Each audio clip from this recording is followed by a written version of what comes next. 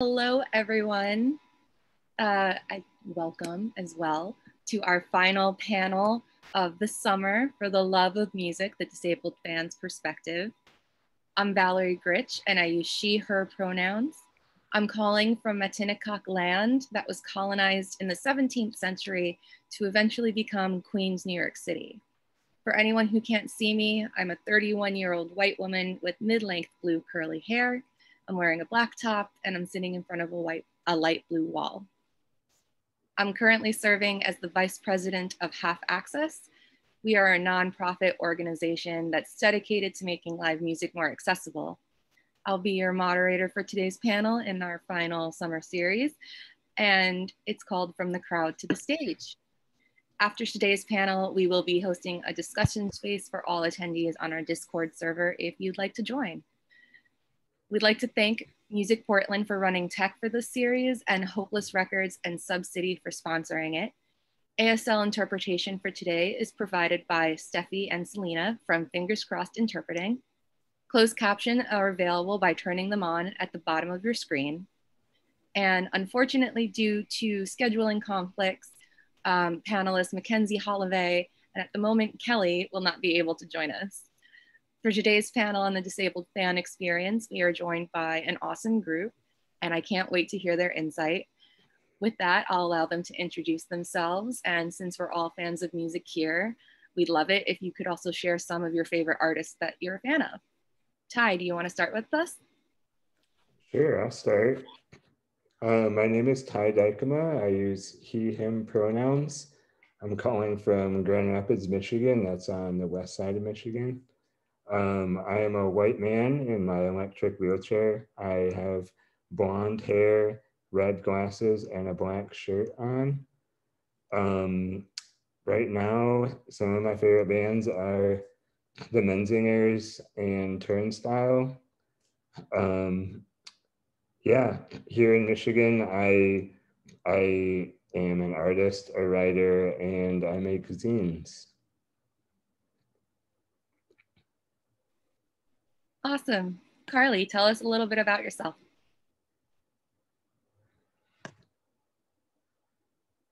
Oh, sorry. Um, hi, everyone. Um, my name is Carly Webster. I use she, her pronouns. Um, I'm from the Dayton, Ohio area. Um, I am the creator of the Disabled Sauce Project, um, which is a fan project or um, volunteer organization, whatever you want to think of it as, that is dedicated to um, making disabled fans feel included and supported and um, kind of handling more of the fandom um, side of the music industry. Um, for anyone who may not be able to see me, I have um, short brownish hair. Um, I'm a white woman with a black Half Access shirt on and gray wall. Awesome. And since I'm jumping in to fill some of the slack, I will do the same. Um, when I'm not working with Half Access, I work with uh, record labels and artists doing social media and fan engagement, um, and a ton of other things. Fandom is the reason I live and breathe. Uh, I, it's why I got into working with music. I study fandom academically. I just got my master's degree in fan studies. Um, I am obsessed with fandom and being a fan, and my favorite artist is Frank Turner who I have seen live over 130 times. Oh gosh. wow. I'm a little proud, but I'm also a little ashamed. So it's lots of fun here. you should be proud. That's awesome. okay, let us dive into the first official question. Um, in what ways is live music a part of your life, and how does your disability affect your experience within it? Carly, do you want to kick us off?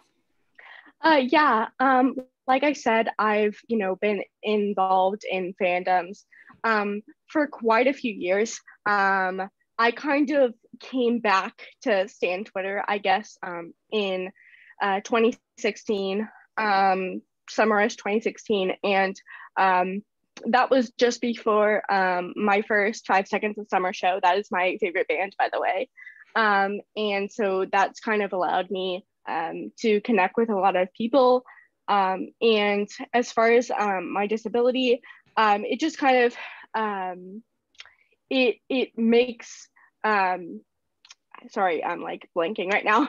Um, it, I have to make sure that, um, especially at GA gigs, um, that like my walker is stable. But now I have like an upgraded one that um, I'm going to be able to have brakes and everything on now. Um, but I just need to make sure that I'm getting like sitting breaks every once in a while, that I'm drinking plenty of water, um, usually after gigs, um, because I don't stretch, which I should. Um, usually my legs hurt quite a bit, you know, my ankles might swell up, but um, I guess I could say that I'm a little bit, um, a little bit more on the like able side in terms of, you know, being able to um, go in pits and stuff like that, which I am extremely, extremely grateful for because I know not everyone has that um, opportunity, but I am grateful for it and it's something that I um, really enjoy. Yeah, so I want me to go next. Of course. Awesome. Uh, so I'm 31 now, but long before I was like booking shows and throwing events myself, I've just always been going to shows, especially well, when I started going to shows, I was probably like 14 or 15 years old. So live music has always been like a really big part of my life. I think I've gone outside of a pandemic, I've been going to shows pretty much weekly since I was like 15 or 16. So, um, yeah, but being a wheelchair user, it does affect my uh, relationship with live music in a pretty big way. Um, you know, as I was going to more and more shows, I realized how much uh, of the spaces were inaccessible, at least like, at least partially inaccessible. And like, um, so yeah, in like my 20s, I started really uh, getting involved in booking and promoting and trying to make uh, at least my city more aware of what the accessibility options were like in the venues here and trying to work with those venues to make those spaces more accessible. That is awesome. Uh, yeah, thanks. I kind of have a very similar uh, story to the both of you, where music is just everything to me. And I, st- I think my first concert was when I was seven. And then I started going to shows more regularly from the age of 13, um, from local shows to, you know, really big artists and stuff like that. And when I was 16 is when all of my health issues started. So that's when I was, I started to have experiences with chronic pain and needing accommodations of some kind. And my problem was that, you know, nobody tells you that these things exist, that accommodations exist. Mm-hmm. And I spent so many years hating myself and also hating this thing that I loved because I wasn't able to experience it the way that I had previously, the way that my friends were, and it was actively harming me in, at the same time. And even today, even with accommodations, it's a, a toss up of if I go to this show, I might, you know, trigger one of my chronic illnesses or something and have a flare. And then I might be really sick for a week or so afterwards. And it's like, is it worth it to feel this crappy is this band like worth it for me to to suffer potentially yeah. um and it's just you know constantly weighing those options and that's just you know my own internal struggle not even dealing with um you know issues with venues or other people and stuff like that. And there's always unfortunately issues if not with the venues then with other people and you know people giving you dirty looks if they let you jump the line to get situated inside early or you know making snarky comments asking invasive questions and things like that. And yeah. like give me a break people. Mind your business. I, I totally relate to that. Like i feel like sometimes there's preparing for a show which could be days or even weeks leading up to it, you know, whether you're tracking down like accessibility um, uh, information about the venue or whatever, but then there's actually being in that show and how tiring that can be. And then there's like days or weeks of recovery afterwards. You know what I mean? So I totally relate to that. Yeah. Um, I and I can say for sure that I've had like a worse experience with actually like other fans being you know not as accepting of it than i actually have with the venues. And you know other people might have different experiences but like i can just remember several experiences where you know again i got dirty looks or something like that. Um, when at the end of the day like it's all about everyone's safety and comfort and i want everybody else to enjoy the show just as much as me. Um, you know obviously um, I probably wouldn't be asking for accommodations if I didn't. Um, obviously, it might be a bit of a different situation both after COVID and both with my like new walker, which is a, lot different. Um, but yeah, it's it's it's very very easy to just be kind um, and not assume anything. And um, unfortunately, like this is just like such a a taboo like topic that you know there's been whole like um you know like discussions or like arguments on like social media um over you know whether disabled fans should be allowed to like you know go in early or something like that. Um and i don't think that should be something that's um argued about. Um because while i do understand that there might be some people out there who might try to um kind of invade our space and like use our genuine needs to like you know get ahead for their own personal benefit i um i do think there are way way way more of us that are actually genuinely um, in need of it. And i think um, we should kind of take the stance of you know believe this person first before you you know make any assumptions. Absolutely. I agree completely. There's so like i see it more online these days of course because obviously there's no nothing holding you back from being snarky and rude online and the the distance the disconnect kind of gives people that sort of uh, empowerment to be meaner than they would necessarily in person and i mean just last month i it, there was a big thing i remember on twitter about the disability community and, and a pop punk band and it's just it it seems to be never ending that you know mm-hmm. even even while we're all dealing with COVID and that we all should be way more aware of, you know, disability and how it intersects everything, that we're mm-hmm. still having these discussions that we've been having for years. Mm-hmm. Absolutely. Yeah. So that leads us to our next question, um, which is what's a good experience and a bad experience you've had with live music? And what do you want people to learn from those experiences? Ty, do you want to go first? Um, yeah, I'll go first. Um, I think my, I'll start with the bad one, if that's cool. Uh, it was one of, uh, I was a teenager. I was in high school, probably ninth or 10th grade. And my friends were playing a show. And um, I went to it, and it was down a flight of stairs I had never heard of a house show before. And so I was definitely not prepared for there to be a flight of stairs when I got there. And uh, there was just no feasible way for me to get me safely down those stairs and let alone back up. And so I kind of just hung outside the house for a while until it just got like too uncomfortable and like awkward, like realizing like how I was not able to actually participate. And so I think um, I think that was kind of where my uh, my uh, drive to make things more accessible, or at least like more clear on what accessibility is and isn't, started. Uh, obviously, there's a lot to learn in in that uh, in that we need to be we need to be more clear on what places are and aren't accessible. Um, and then one of my favorite show going experiences was in summer of 2019.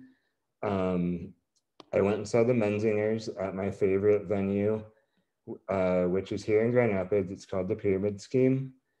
And it was my 100th show at the Pyramid Scheme, which I think uh, says all you need to know about how, how much I love that place. And part of the reason why I do love that place so much is because they are so very accessible and so accommodating and willing to listen.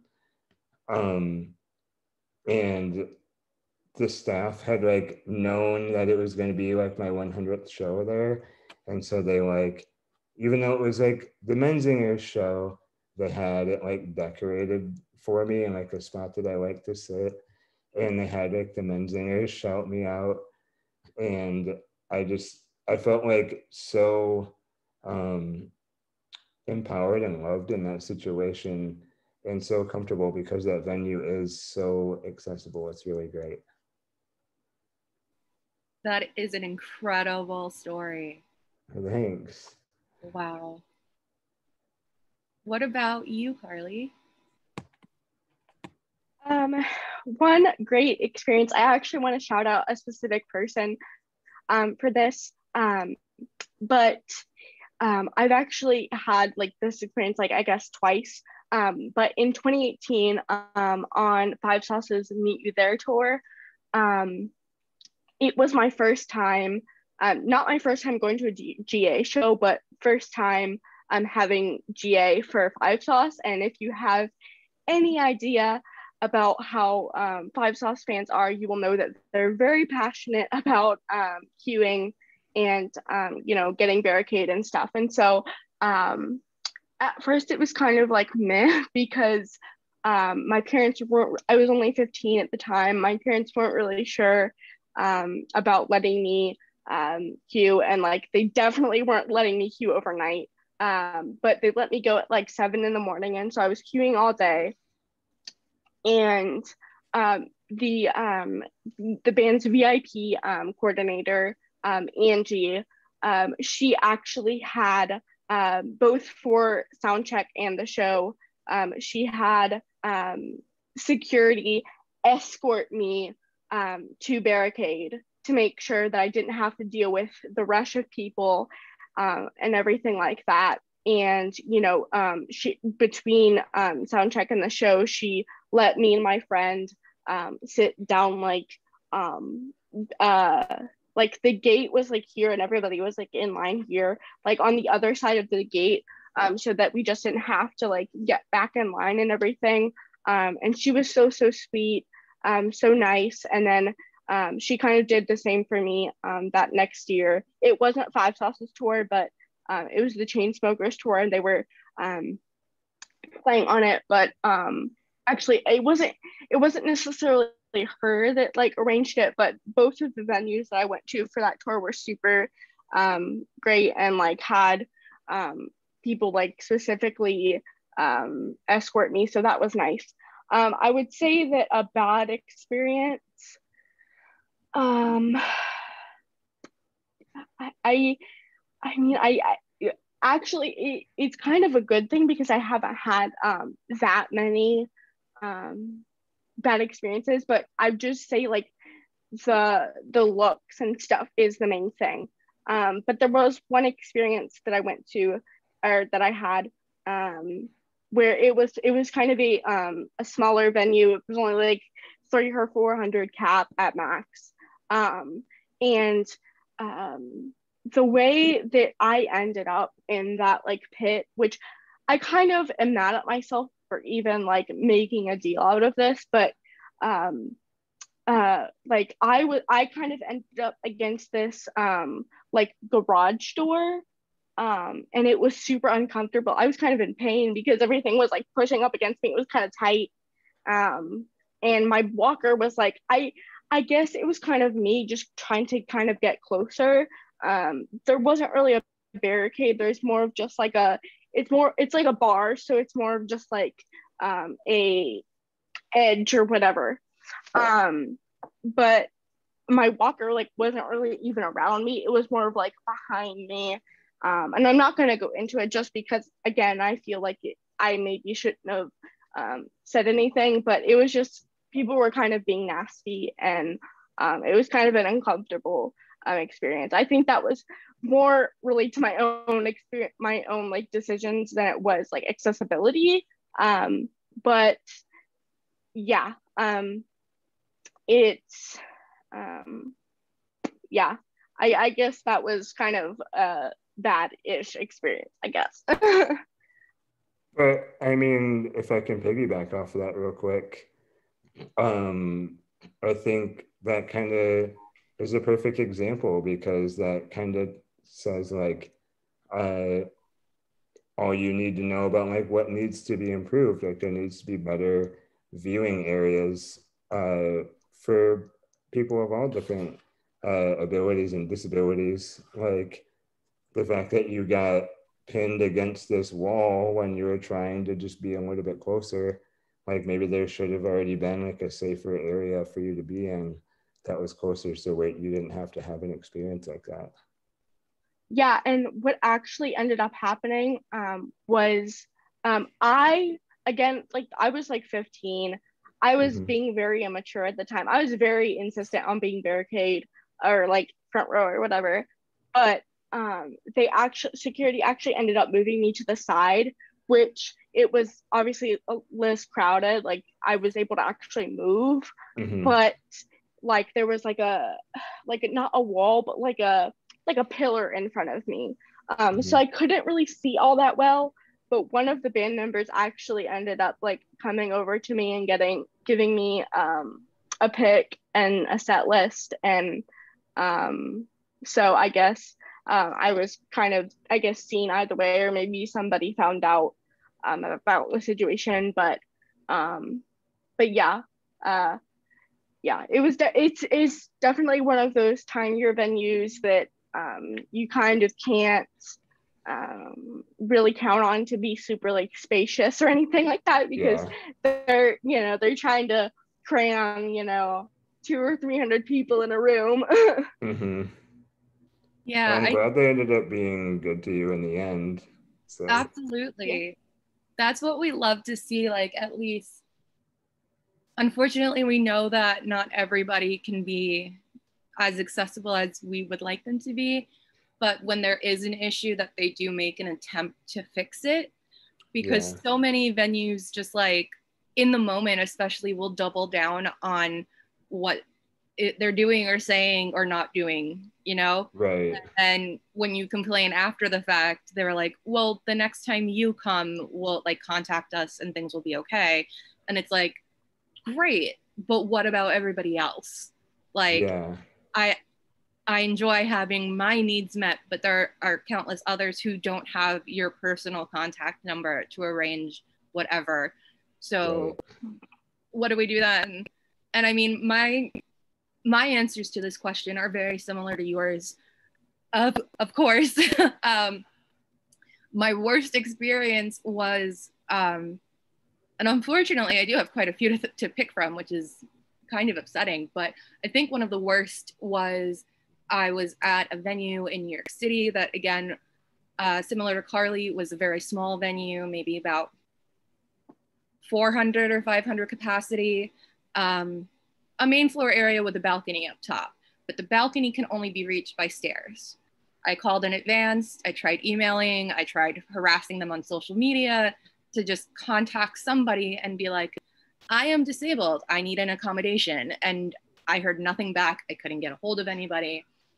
I finally get to the venue the day of. I get there early. The guy, the security guy is giving me a hard time. He doesn't want to call the manager down to speak to me. He keeps telling me that what I'm asking for, they can't do. And then finally, somebody comes in, and I'm like, you know, I can't stand for long periods of time. I need a, a seat. Um, so they get me a bar stool and they put me in a corner up against the wall, but it's, it's about in the mid, the middle of the room. And I'm right where the mosh pit would have opened up for the main band. And there's no barricade, no nothing between me and the crowd. So as the sold out show got more and more packed as the night went on, people kept crashing into me because I sitting on the bar stool, I was the height of other people standing. So they didn't realize I was sitting. I had, you know, drinks spilled on my legs, people crashing into me on the bar stool. As the opening bands were playing, the crowd was pushing back into me. And I'm like, this is not safe. And they kept adding more and more people who were coming in who are asking for accommodations.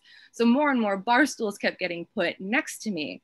And then finally, a wheelchair user came in and they said, okay, we're going to move some of the people who can manage the stairs up to the balcony, but we're going to keep the wheelchair user here where they wouldn't have been able to see with no barricade right next to where the mosh pit is going to inevitably open up. And it did open mm-hmm. up later. So they moved me up to the balcony, but then again, I didn't have anything around me to separate me from other people. So I had more drunk people like leaning on the back of the bar stool, holding onto the back, jumping up and down on it, so shaking the chair. And I'm like, literally, my main problem is I have, you know, four herniated discs in my back, and I'm like, can you not shake me? um, it, like ev- everything that happened to me that night was saying disabled people are an afterthought, if that. Um, and they are not a, a consideration. They're not a priority at this venue and it was so upsetting and it was one of my favorite bands i was seeing the gaslight anthem and it was a fantastic show i wish i could have fully enjoyed it by not like constantly being hyper vigilant of everyone and everything around me because yeah. i didn't trust everyone around me i trust myself i don't trust everybody else yeah. on the on the flip side there's another venue in new york that sadly i think closed because of all the covid you know delays and whatnot um, but they were fantastic. And, you know, they would see me standing in line with my cane or whatever, and they would bring out a folding chair for me to queue with. Um, they had an elevator that went right to a disabled uh, ADA viewing platform that was near the stage. You could see everything. You had great sound quality, but it was also like at the right level so you could feed off the energy from the crowd. And as lovers of live music, you guys know how important that is. Like, yeah, hearing your favorite song like in your chest is such an important like moment to have. And when your view is blocked or you're being hyper vigilant that someone's going to knock into you and or you can't even get into the venue, like we're being robbed of these moments that we're essentially paying for in advance most of the time. And yeah. it's so, so frustrating. So mm-hmm. it's great when you find a venue that does actually consider disabled people. And it's awful how many venues don't consider disabled people, I think. Yeah. Yeah. Um, go ahead. Uh, just to kind of continue with what you said about like yeah uh, how great it is when venues really do start to listen.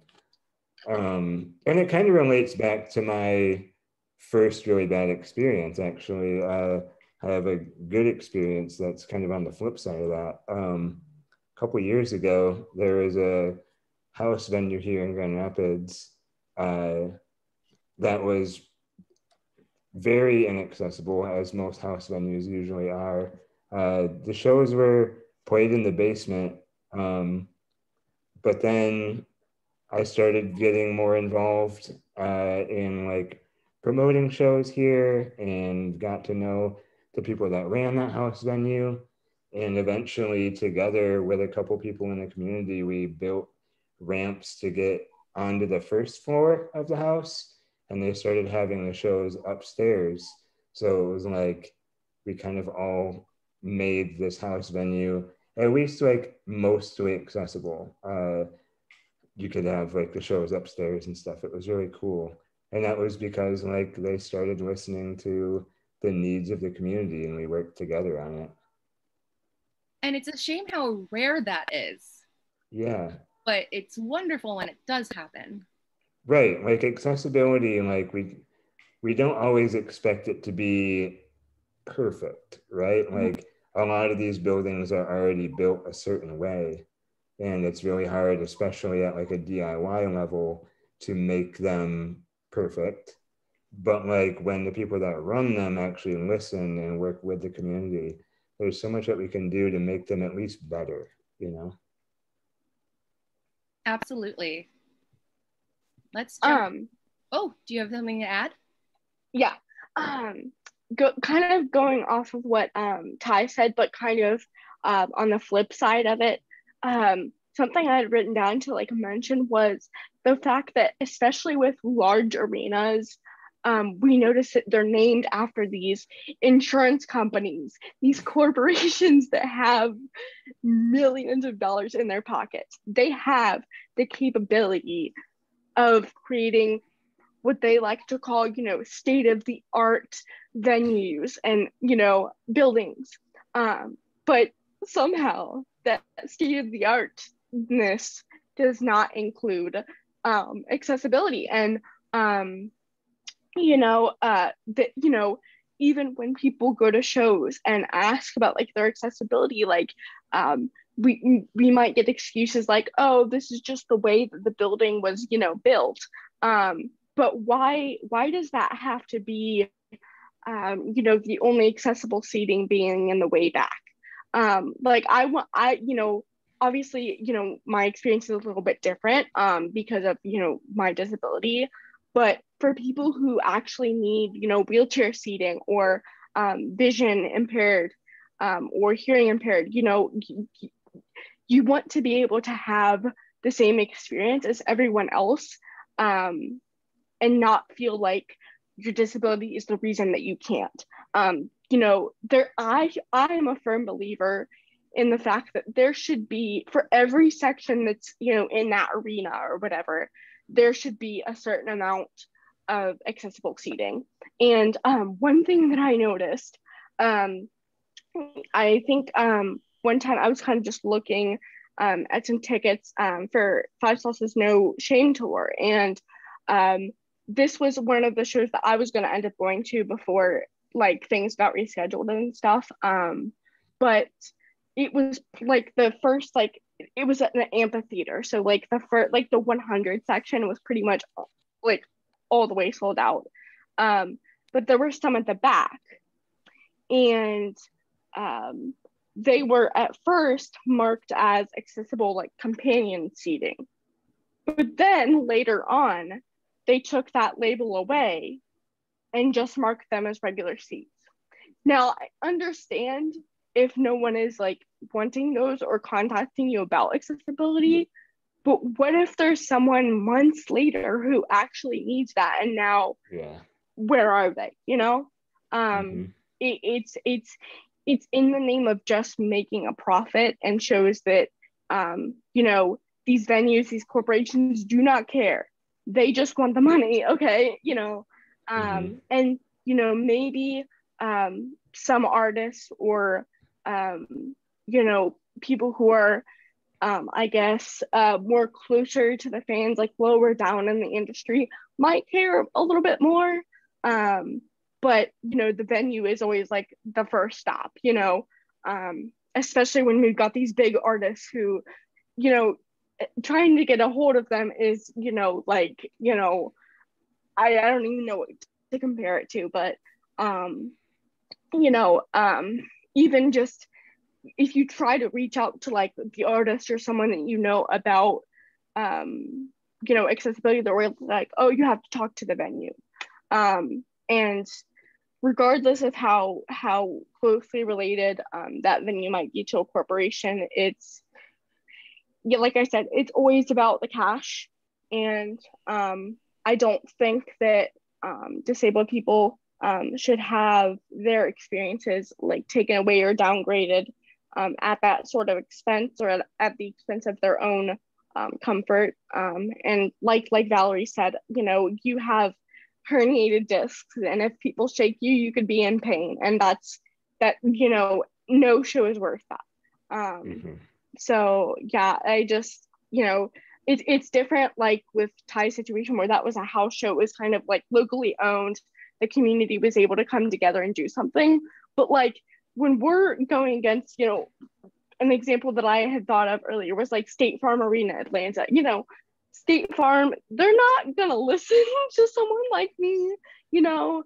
They're, they're just there for the insurance and a little bit other little bit else. Um so you know it's we i guess you know kind of you can take Ty as an example. We have to work from the communities up. We have to work with who we know and who we know cares, and then somehow try to make our impact um, bigger from there. Um, but yeah, it's just it, it's like you know we're just we're just not being heard no matter how much we we you know scream, and so um, I I think there's some people who might um, you know act as if you know COVID was kind of like a wake up call. Um, and it's like, you know, even I think earlier, maybe like, I don't remember when, but I had one point seen like um, a festival that was being held, or at least proposed that everybody was on these like platforms that are, were a certain distance apart. Um, and everybody's, oh, like, OMG, this is so great when that's what we've been asking for for forever. Um, so it's those suddenly able bodied people are getting the exact thing that we have wanted. Um, so yeah. Yeah, those pictures of that festival actually showed up in my Timehop today because oh um, those went up online and everyone people were either freaking out saying this is the dream i want this or this is not how punk show should be and making fun of it and it was in my Timehop because i had posted on facebook and twitter being like yo, this is not the take you think it is. That's really ableist. Like, mm-hmm. you can still enjoy punk music or whatever kind of music while you're sitting down. Mm-hmm. like, no matter what position you are in, you can enjoy music and you are allowed to do that. Like, this is not the coolness, the cool take you think it is. Like, yikes. Right. like, what do you what do you think people do at home? They sit down and enjoy music. Mm-hmm. Yeah. People's view on like what the music fan is so skewed and so narrow minded, right?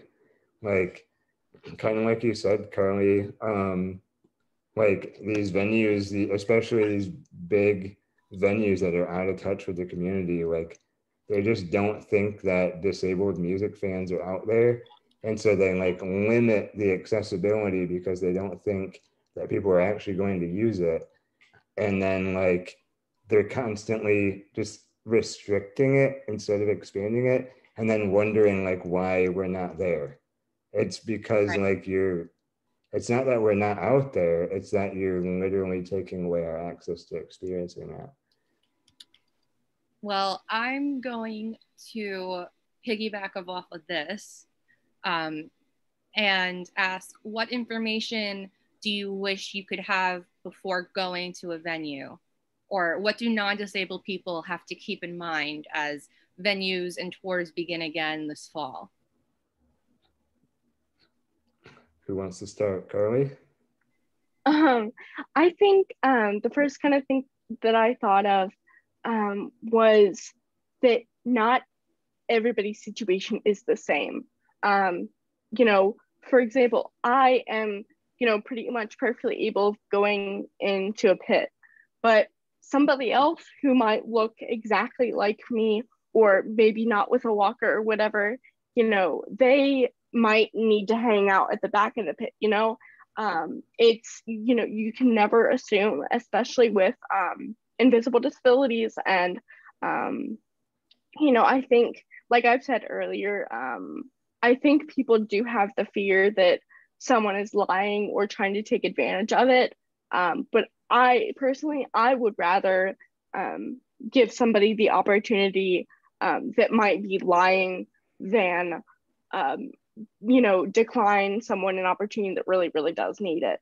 Um, so definitely that, and just um, keeping in mind that we're not trying to take away from your experience. We're just trying to make ours comfortable. Um, and I think in regards to information, um, just, you know, I think in terms of accessibility information, I think it should just go beyond, okay, our seats are here, or, you know, if you, you know, if you need an interpreter, this is how you, you know, get one.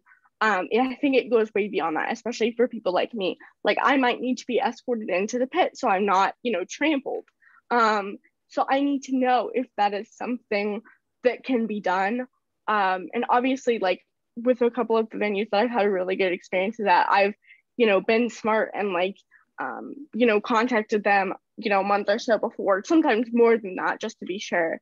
Um, but like, I need, you know, in case there is no contact information or whatever, I need to know is that something that is can be done, or am I going to have to settle for being somewhere else in the venue? And I'm not, I'm not saying that like anywhere else in the venue is not perfectly done and you can't have an experience there, but it, I'm saying if, I'm able to do something, I want to be able to do it. You know, I'm not gonna um, let myself be um, limited um, because you know I I'm I'm, I'm I want to take um, you know what I am able to do and um, just you know run with it. You know, um, just do as much as I can.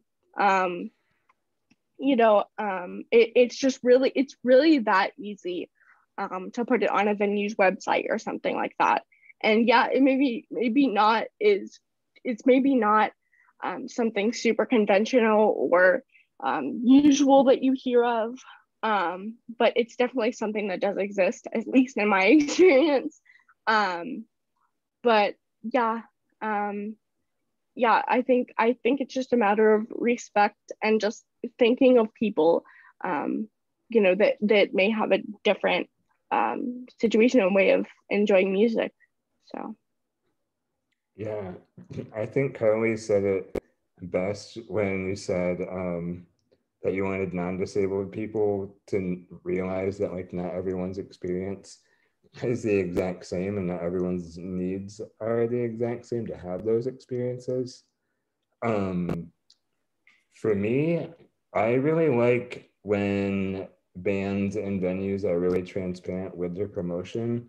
Uh, something we've been doing that's been really expanding here in West Michigan is a lot of the bands and venues I've been working with have been putting right on their promotional materials, even like the gig posters, they'll put like if a venue is wheelchair accessible or not.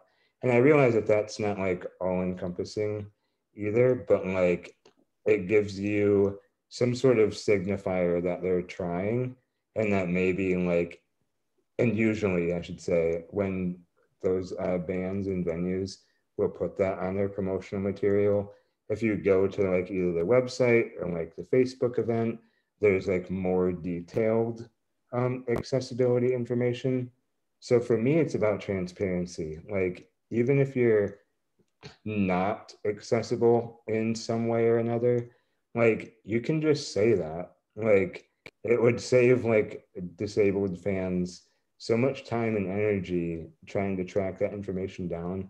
Or like when i was a teenager and had that first experience going to a, a house show that was down a flight of stairs like if that was just somewhere to be found i wouldn't have shown up and felt you know so left out and embarrassed like so yeah for me it's just about transparency no, I totally agree. And I think that's why uh, what Cassie started here with half access with the database, I think is so important because uh, I think people really take for granted that they don't need to know all this information that the disabled community might need to know to go to a concert.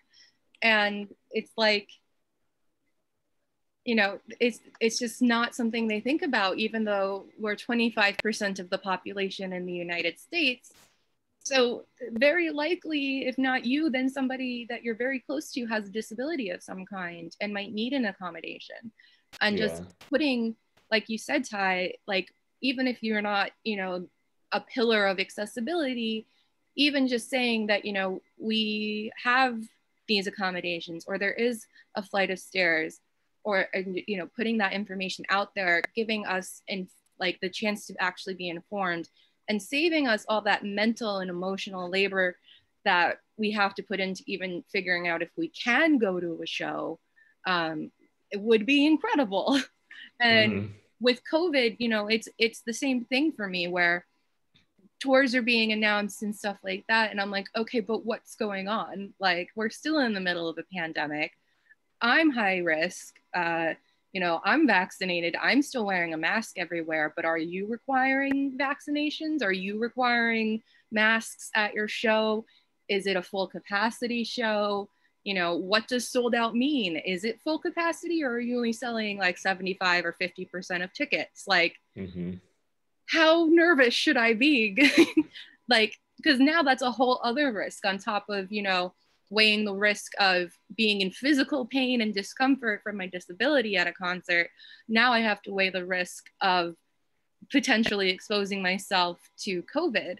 And it, it would just be really nice to know this information. And I'm glad so many artists are starting now to be like, oh, yeah, you can't come if you don't have a vaccination or if you're not wearing masks, because mm-hmm. that's what they should have been doing all summer. but we, we got there in the end. yeah, so hopefully we'll start getting there with just uh, the other normal accessibility uh, information that we need as well, whether there's uh, ramps or some other accessible entrance or accessible yeah. bathrooms or whatever. Like that stuff should be normally talked about when promoting different shows. Absolutely. Um, so this ties into our next question very nicely, which is how can artists and non-disabled fans better the experience of live music for you? And I feel like we've touched on this a bit with all of our other answers so far. Mm-hmm. But anything else you'd like to add to that? I would definitely like to say um, that whether or not you believe it, language matters. Um, you know, I've I've, I've seen um, even experiences my, with my own favorite band, um, whether intentional or not, you know, there's some, you know, ableist language, like um, asking the crowd to jump or something like that, or to, if you're not like standing up, then, you know, you're, you're, you know, not cool or whatever, you know, um, I think it's, it's very subtle and definitely in most cases it, it is not intentional, um, but it just makes things feel more inclusive because not everybody there is going to be standing up regardless if it's a parent just taking their kid to the show and not being interested, or it's a disabled fan who literally cannot stand up at all um, because they're like in a wheelchair or they're having a bad pain day, whatever it might be.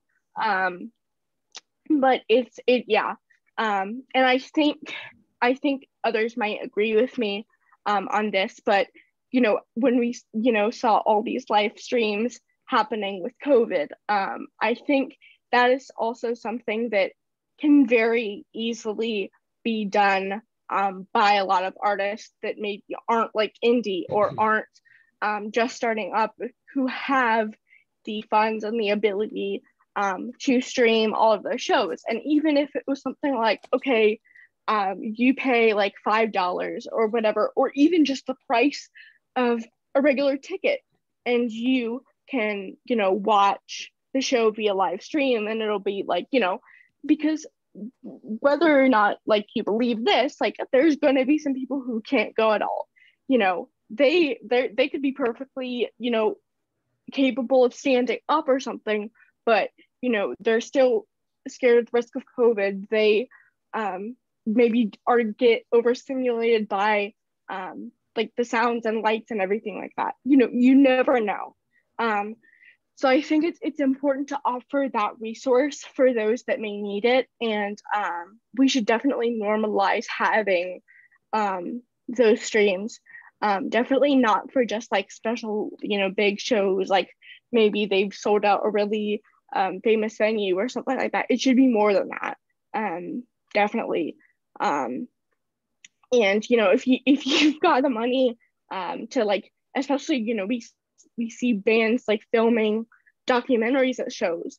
Well, why can't we basically have the same thing on a smaller scale um, so that mm-hmm. everybody can enjoy um, the show from anywhere? Um, and yeah, it's because a lot of the times it's, and I, you know, obviously I'm not assuming anybody's situation and it's definitely um, different for everyone, but I think there's more of among the disabled community um, less of a financial issue and more of just an accessibility issue. Um, so it's not like someone wouldn't be able to like afford a ticket. It's just a matter of okay, this venue is not accessible. I do have the money to go, but I just can't. Um, you know, it, and the reality is is that there's going to be financial issues uh, unfortunately and that there still might be people that wouldn't be able to even afford a live stream and you know that's completely fine um, unfortunately we live in a um, capitalistic world mm-hmm. so um, you know there's always going to be stuff like that but i think that is just a small step that we can take um, and i think that would be um, beneficial and impactful for a lot of people. And um, you know captions are a whole other discussion um, because people just find it so hard to do that when they can easily even find it, you know, a disabled person or someone who is, you know, deaf or hard of hearing that has that knowledge when it's so just easy to just, you know, especially with the the, the internet communication that we use nowadays. Um, you know, it's just it's so easy and people just don't want to put um the effort in. So um yeah, it's like again, small steps, small steps. yeah, uh, like Carly said, I, I really think that streaming should continue.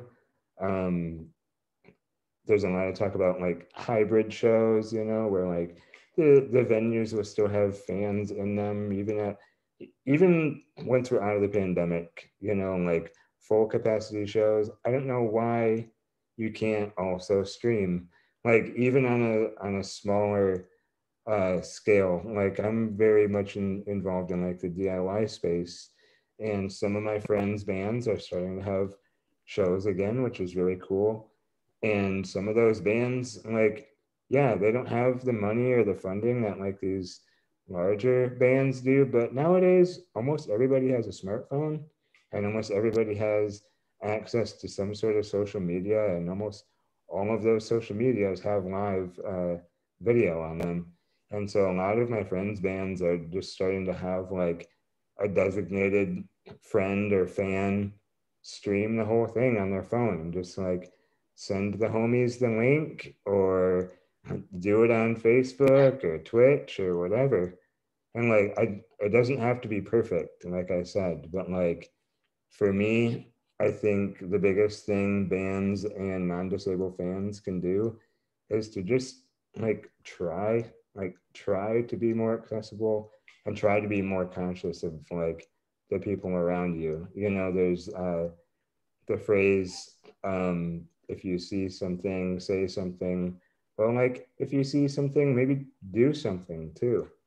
You know, uh, Carly earlier was talking about how she was pinned against that door and like luckily a staff member had come and helped you but like what if those people that were pinning you instead thought let me help this awesome person enjoy this experience a little bit more? And like yeah I, it just comes down to a community trying better for me. No i i agree. The, everything that you all have said just now. Uh I'm here for more streaming. I think it's like a, a no brainer that this is something that should continue, even if you just do it for one show per tour. You know, yeah. I, I, I would very easily pay good money because even if it's a, t- a show that I went to in person, if it's a, a uh, bands I really like, yeah, I'm gonna pay to watch the stream again and you know yeah. relive it and you know enjoy it and stuff like that. And also like like obviously there's so many kinds of music and so many kinds of music communities but especially with like the punk rock alternative sort of uh, community that I, I, believe we're all you know straddling in um, you know so much of that is based on these notions of looking out for one another and stuff like that. But it, like we still don't get looked out for by so many people and that's a shame because you know yes we should be accommodating everybody and it's great that these spaces are becoming more and more inclusive but it's just really depressing when it's disabled people who you know dis- disability intersects every identity. We're still being left behind and we're the last ones in as it were. Um, and that's that's just so disappointing. So i agree with everything y'all said. Um, awesome let's quickly get to our last question. Um, what advice do you guys have for other disabled people who are interested in going to shows? Um, definitely just um, you know, like I, I I understand it's so hard asking for accommodations and knowing the backlash that might um, occur. But just you know, you know, if you're confident in your disability and you are passionate about music, just just go for it. Just go for it. Um, because you know, if, if you know, if you say something that could get you so much closer to having a better experience. Um, and just you know, it's it's easy to say don't be afraid, um, but trust me when I say that there are people who even if it's you know, right there beside you or on the internet, there are people that have your back and that will always defend you and support you and um, you know that are you know on the front lines um, fighting for better accessibility and making sure that um, we're just able to you know access and enjoy um, live music and music as a whole um, just like everyone else. Um, because we are people too and music i will always stress this music is so universal and so versatile and so you know just everyone can relate to it in some way and um, i think we should all be able to enjoy that whether it's um, you know in our bedrooms at home or um, in our favorite venue. So um, just don't be afraid um, to shoot your shot and don't be afraid to you know get get get nasty you know because we've we've dealt with you know so much like in the real world even outside of um you know live music. And i think this is what we deserve. And um, if people can't understand that that is their issue and not um, anything that's about us. So just you know you know be loud and um, don't don't let people silence you Well, personally, I think disabled people are the most creative. So, my advice to disabled people trying to uh, go to shows or even just be involved is to get creative. You know how it is. Uh, disabled people have to adapt, and um, we're pros at it. You know, we're, we're survivors. We make things work and I think that can apply directly to shows. I think I'm uh, a living example of that, at least here in my city. Um, I've had to make things work and rally the community to make things uh, more accessible uh, for me and my disabled friends here. Um, sometimes the funding isn't there, but like if you can get the community together, you can really pull a lot of stuff and get a lot of stuff done. So yeah, my advice is to be creative. I love it. Great advice from both of you there. So unfortunately, we have reached the end of our time together, which makes me really sad because this was a great discussion. Um, just a reminder to everyone, we have an after panel discussion space if you would like to join us over on our Discord server. Um, whenever you feel motivated to come on over and share your thoughts, feel free, or additional questions that you have after listening to us chat, chat away. Um, thank you again to our fantastic panelists for sharing their stories with us today. Um, thank you to MusicPortland for running tech and Hopeless and Sub City for sponsoring, to Steffi and Selena for interpreting, and thank you all, of course, for tuning into our final summer panel. We will be sharing a feedback form in the chat if you want to take a minute and fill it out. Remember to get vaccinated and to keep wearing a mask. And thank you guys, and we hope you have a wonderful day. Thank you. Bye. Thank you so much.